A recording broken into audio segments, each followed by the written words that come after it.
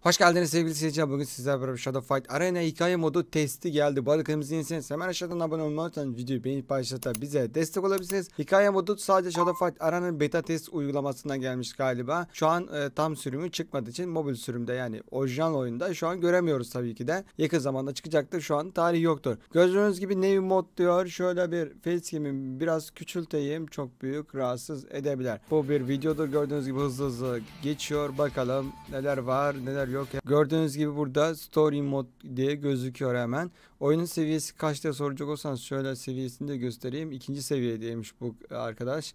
Şimdi ismini göstermemek için facecam'i oraya kadar çektim. Çok hızlı ilerlemezsek göreceğiz de. Evet burada chapter diyor. Kaç chapter olur bilmiyorum.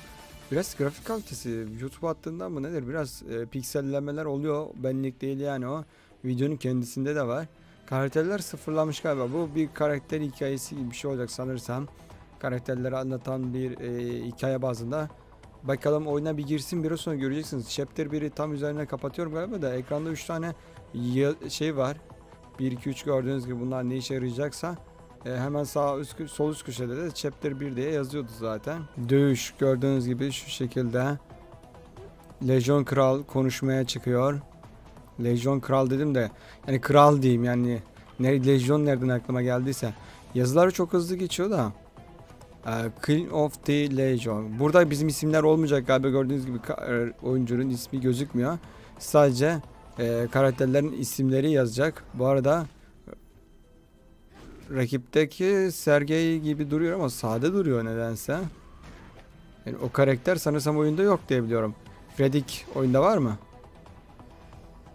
Fredik çok basit gitti ama 1300'e 700. Gördüğünüz gibi ekranlara 3 tane farklı şeyler çıktı. Funks ve ne bu? Gomit of e, çok değişik şeyler var yani.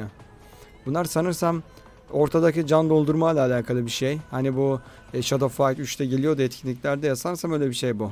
Tekrar bir kapışma. Bu sefer kılıcı aldı. Wilhelm. Bunlar yeni karakter demeyelim, kahraman demeyelim. E, bunlar kahramanlar dövüşecek kişiler mi oluyor? Öyle bir şeyler olacak sanırsam.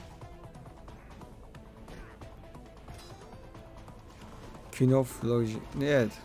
Burada görüyorsunuz. Şu anda kral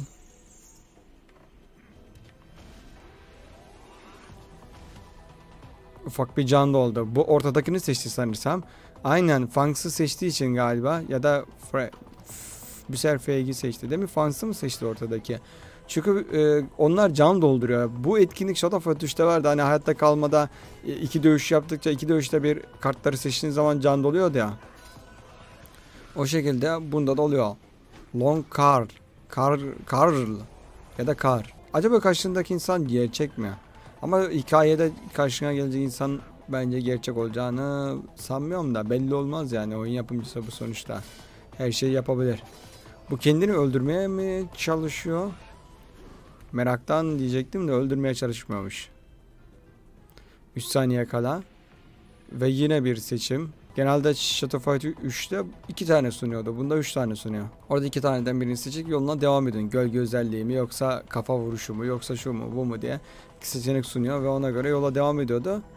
Rakip niye duraksadı bilmiyorum. Bot olduğu için galiba şu an beta testi olduğu için de olabilir. Bakalım nasıl bir oyun gelecek ya. Baya bir Bak alt, sol alt köşede de geçti. Hızlı geçtiği için göremiyorum. Sol alt köşede seçtiği şeyler gözüküyor. Yani biraz videoyu geri sayarsanız umarım benim facecam'im kapatmıyordur orada. Kapatıyorsa bir sonrakinde bakacağım ben. Ona göre yerini değiştirip size onu göstereceğim olmadı bir dahakine. Hayata kalma tarzı gibi gördüğünüz gibi. Canı gidiyor. Kral bayağı te şey gibi tehlikeli gibi ha. Dün biz canlı yayın yapmıştık arena kapışmaları vs'leri. Burada gördüğünüz gibi bu şekilde seçtiği şeyler gözüküyormuş. Demir benim facecam'ı kapatıyormuş. Onu da şu şekilde göstermiş oldum. Dün arenada da vs yaptık da zaten herkes beni yenmişti. Dün bayağı bir zorlayıcı gün oldu. Bir kişi yenebilmiştim galiba. O da yazı zaten çoğunlukla pink olduğu için April pink olduğu için bazılarında sıkıntı olmuştu. Smarter Paul. Smarter Paul. Ya da nasıl ben salladım ha bu arada. Liste dışı olarak yayını bulabilirsiniz bu arada izlemek isteyenler için tekrarını. Yani kana e, şeyde bulabilirsiniz. Oynatma listesinde liste dışı canlı yayınlar diye orada bulabilirsiniz. Aslında dün amacı 4'ü full game olarak size hikaye sunmaktı ama benim sesim robota bağladığı için aslında bu e, yayın kalitesini yayın programından dolayı çünkü yayın OBS'de yaparken ben istediğim gibi ay- ayarlayabiliyorum ama maalesef ki şeyde yaparken GeForce'ın pirinci de yaparken bu ayarlamaların izin vermiyor sana. Ondan dolayı yayını düşük gecikmede versem hiç sıkıntı olmayacak. Yayın size 30 saniye sonra benim konuştuğum geçer. Ama e, ses sorunu olmaz. Yayını birebir aktarmaya çalıştığı için ses sorunu oluyor. Bu arada indirdi. Devam etmek için gördüğünüz gibi 100 tane mücevher verdiğin zaman canınız fulllenerek geri dönüyorsunuz. Ha, geri dönme öz- özelliği de koymuşlar. Ee, bence bazı oyunlarda 30 mücevher yani Shadow Fight 3'te genelde 30 mücevher veriliyordu. Burada çok mücevher alarak devam ediyor ve cidden oyun mücevherlerinize sömürecek gibi duruyor. Süre niye? Ha bir dakika 7. round saniye şey yok. Saniye yok burada. Bu güzelmiş. Yani saniye olmadan dövüş olacak. 90 saniye seni kitlemeyecek ya da 60 saniye artık han- 45 saniye olur. Oyunun şeyine göre. Şu anlık süre koymamışlar gibi ya da beta'da olduğu için bence koyarlar ya. 90 dak- saniye koyarlar da niye koymamışlar? Kolay yani o koy- koyması da. Beta'da olduğu için koymamış olabilirler büyük ihtimal. Ve eğer bari beta'da 100 mücevher almasaydın ee, ya onu alabileceğini göstermek amaçlı koymuş olabilirler belki. Yani mücevherler alacağımıza. O zaman 90 saniyeye niye koymadın? Her şeyi düşünebiliyor insan. Steven. Steven donuyor. Ve oyun sesleri geliyor mudur bilmiyorum. Ben kulaklık takmadım. Ee, bazen de müzik çalıyor, bazen de şey. Ondan dolayı ben kulaklık takma gereği duymadım. Böyle daha rahat oluyor. Kulaklık büyük olduğu için sevmiyorum. Şimdi Steven da indirdi sayılır. Şu ana kadar 8 round ilerledi. 9. da geçti. Yani bunun sonu yok mu ya? Git git bitmiyor yani. Sol altta da zaten şeyleri gösteriyor. Özellikleri. Neyi seçtiğini. Adam videoda konuşmak yerine ya alt yazılar eklemiş. O da İngilizce zaten. Türkçe içerik yok galiba. Türkçe içerik bulmak. Normal the norm. Bir dakika normal. Normal Türkçe kelime değil mi? Yoksa değilmiş o zaman İngilizce bir kelimeymiş. Normal the normal. Evet şu anda 9'uncuyu da bitirmek üzere. Combo 2x diyor. Ve bitti. Acaba nereye kadar gidecek onu emin değilim yani. Gidiyor yani sürekli. Şu an 10.ya geldi. Acaba bu gidebildiğin yere kadar gitme gibi bir şey mi geldi hikayede? Ama hikaye oyunu diye girmiştik. Arada hikayeye girdi de şu ana kadar doğru dürüst bir hikaye görmedim. Chapter bir hani böyle ilerle ilerle sıkıcı yani. İnsan bir dövüş biter hikaye girer. Bilmiyorum yani garip bir şey olacak. Bir, bir çıksın da göreceğiz bakalım. Şimdi e, gömme eleştirisi yapmayacağım ama çıktığı zaman gömebiliriz.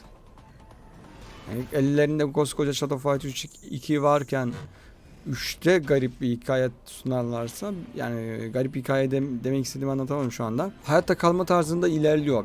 Bize arada bir hikaye sunduğunu gördük. Onun dışında bir hikaye sunumu olmadı. Sanki online'mış gibi bir şeyler oluyor ama karışık.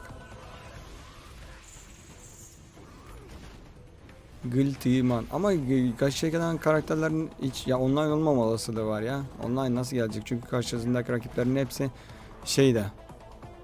Siz söyleyin e, bildiğimiz karakter yani hiçbir oyunda görmediğimiz karakterde. The Hello Mello Thanks to bir şeyler atıyor da altta tüm seçenekleri gözüktü. Bitti mi acaba? Sansam bitti galiba. Chapter Yo bitmemiş hala. Hala devam ediyor. Oo Iron Clade. Iron Clade geldi gördüğünüz gibi. Gelişi bir sefer çok farklıydı. Bak April. Iron Clade. April. Iron Clade. April. I- Kral bak de- demin konuştu. Bak yine bu oyunlarda devam ediyor. Shadow Fight 2'de ve 1'de yok 1 yok. 2 ile 3'te devam eden olaylar bizim gölge hiç konuşmuyordu. Burada da gene bak yine April Iron Cat arasında geçti konuşma. Kral bir kere konuş yani nadir konuşuyor. Yani konuşmuş duruyorlar sonuçta da. Niye e, nadir? Yani 2'de ve 3'te konuşturmadılar. Burada da karakteri biraz geri planda tutuyorlar gibi geldi. Ya bu can sıkıcı olabiliyor ya. Bu arada eee, yeni mi bu?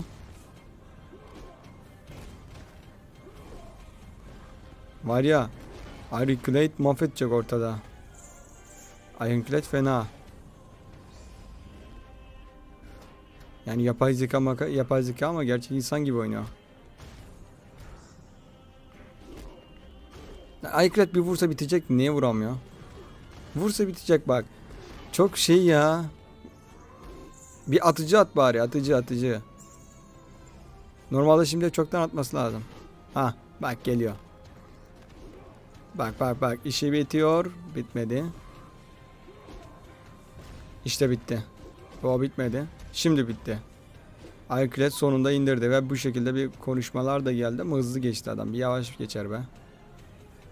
Evet 12'de 12. Aa, 12'ye kadar burada hepsini de almış oldu gördüğünüz gibi. Bunlar ne işe yarıyorsa ekranlarda gördüğünüz gibi. Anlamadım ben bunlar İngilizce olduğu için anlamıyorum şu anda. Altta yazılı bir şeyler anlatıyor ama İngilizce olduğu için ben onun bir kısmı gözükmüyor zaten. Damage falan bir şeyler yazıyor. Adrian. Bak yine mesela ser yok. Ne oldu orada? Şimdi burada bir şey oldu anlamadım ben. Bir vurdu. İki harekette gitti. Bir de şeyi koymuş oraya. Bir tane adam var herkese gülüyordu onu koymuş.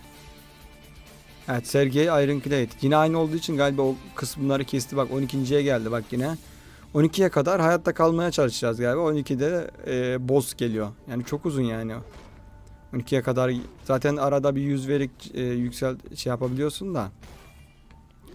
Ya bilmiyorum ya sanki olmamış gibi geldi. Sizler de yorumlara yazın ama bu sadece bir oynanış videosu. Yani şu an çıkmadığı için pek oha.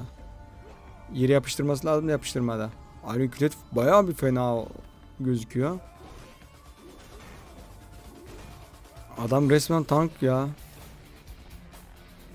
Hiçbir şey iş- işlemiyor. Sergey de kalkanları çok ek. Sergey'in şey yok mu ya?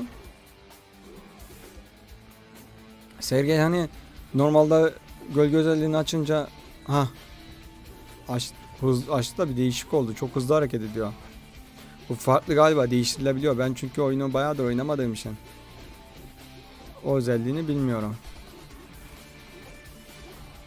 Aykret bayağı sağlam yani.